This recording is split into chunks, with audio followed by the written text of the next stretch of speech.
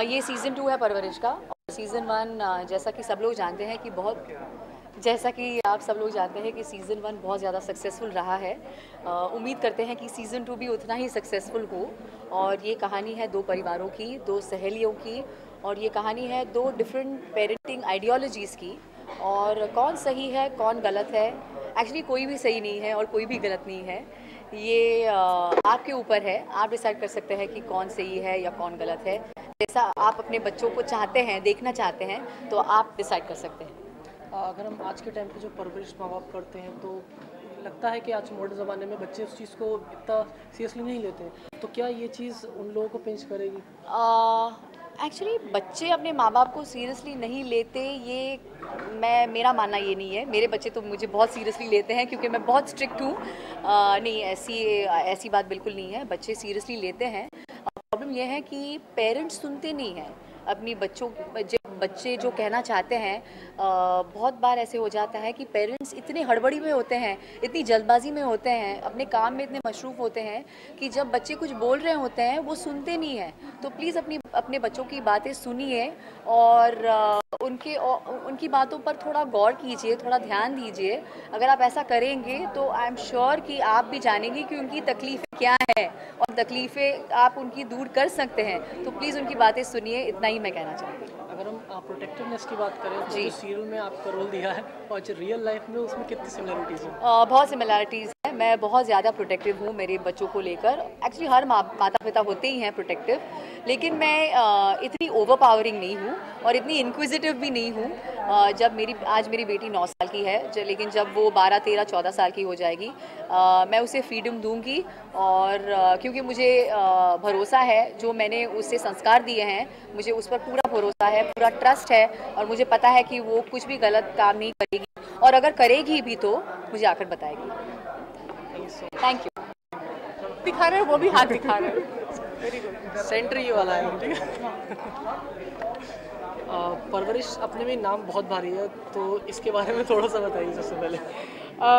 जो हम परवरिश बना रहे हैं, वो भारी भी है और हल्का भी है, क्योंकि इसमें जो डिफ़िकल्ट या सीरियस सिचुएशंस है लाइफ में, उसमें रियल लाइफ में भी ना आप ह्यूमर ढूंढते हो, ऐसी कोई बात कर जाते हो जो चेहरे पर हँसी लाती है। तो हमारे इस सीज़न में वैसा है। सिचुएशंस तो डिफ़िकल्ट है क्योंकि जब बच्चे बड़े हो रहे हैं, जब वो टीनेजर्स हैं, जब वो मतलब एडल्टहुड में कदम रखने जा रहे हैं, उनके बहुत सारे सवाल होते हैं, बहुत सारे कन्फ्यूजन्स होते हैं। वो सिर्फ़ पेरेंट्स की बातों पे भरोसा नहीं करते हैं उनके फ्रेंड्स होते हैं और मीडिया है इंटरनेट है, इतनी सारे, इतनी सारी चीज़ें होती है तो उनके लिए भी कन्फ्यूज़न होता है पेरेंट्स के लिए भी डबल कन्फ्यूज़न होता है कि हमारे बच्चों को कितना कंट्रोल करें, कितनी छूट दें। तो काफ़ी इंटरेस्टिंग एज है बच्चों का और पेरेंट्स को उस एज में के बच्चों को कैसे संभाले। तो इंटरेस्टिंग है परवरिश साथ ही इस परवरिश में एक अलग एनर्जी है। स्टोरी अलग है बैक स्टोरीज है और काफ़ी इंटरेस्टिंग कहानी भी है। परवरिश सीरियल में आपका करेक्टर कैसा रहा है और कितने ज़्यादा आपने ध्यान दिया है बच्चों पर मेरे बच्चों को तो मैंने खुली छूट दे रखी है कि बेटा जाओ आप उड़ो लाइफ में हम लोग हैं पीछे संभालने के लिए। आप गिरो तो फिर आप उठ सकोगे लाइफ में। आपको एक्सपीरियंसेस होनी चाहिए लाइफ में। सारी चीज़ें आपको परोस कर नहीं मिल सकती है। तो ऐसा कैरेक्टर है सुरेंद्र का, जो चाहती है कि उसके बच्चे अचीव करें लाइफ में। अपॉर्चुनिटीज़ वो एक छोटी जगह से आई है तो वो खुश है, लेकिन वो उसकी सोच ये है कि शायद उसके बच्चे ना खुश रहे। उसके बच्चे शायद तीन आज सवाल नहीं कर रहे, लेकिन शायद चार साल बाद बोले कि, लेकिन आप लोगों ने तो हमारे लिए किया नहीं है, आप लोग भी तो ये कर सकते थे हमारे लिए। तो वो चाहती कि उसके बच्चों को अपॉर्चुनिटीज़ दे तो उसके लिए उसकी स्ट्रगल है।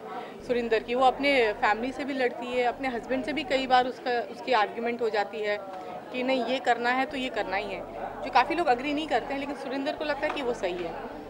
अगर हम रियल लाइफ की बात करें तो रियल लाइफ में और इस सीरियल के अंदर कितनी समानता है क्या सिमिलरिटीज़ है? कि अगर रियल लाइफ में जो परवरिश बच्चों की माँ बाप आज टाइम पे कर रहे हैं और जो सीरियल में दिखाई गई है उसमें काफ़ी कुछ समानता है काफ़ी कुछ सिमिलरिटीज़ हैं? देखिए जो सुरिंदर जो एक माँ है जिस तरह से उनका कैरेक्टर है वैसी माएँ होती होंगी मैं ये नहीं कहती हर हर पेरेंट चाहते हैं कि उनका बच्चा अच्छा करे। लेकिन जिस तरह से वो है, वैसे माएँ कम होती हैं। मुझे ऐसा लगता है, ये मेरा मानना है। और मैं अगर देखूँ रियल लाइफ में तो मैं चाहूँगी कि बच्चों को स्पेस मिले।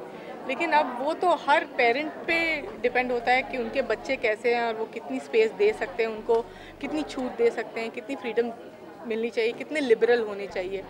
तो इस बारे में वो ही बेहतर जानते हैं, मैं नहीं कह सकती कुछ। लेकिन अगर मैं उस सिचुएशन में हूँ आज मेरा मानना है कि मैं अपने बच्चों को छूट देना चाहूँगी लेकिन हाँ एक हद तक ही देना चाहूँगी। उसके बाद मैं भी थोड़ा बहुत नज़र रखना चाहूँगी अपने बच्चों पर।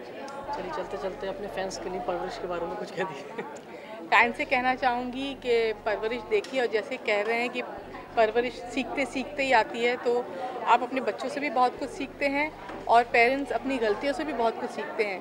पेरेंट्स भी गलतियाँ करते हैं और उनको अपनी गलती कभी कभी मान लेनी चाहिए। तो देखिए शायद आप सबको पसंद आए सीज़न वन की तरह ये सीज़न टू भी। Thank you so much thank you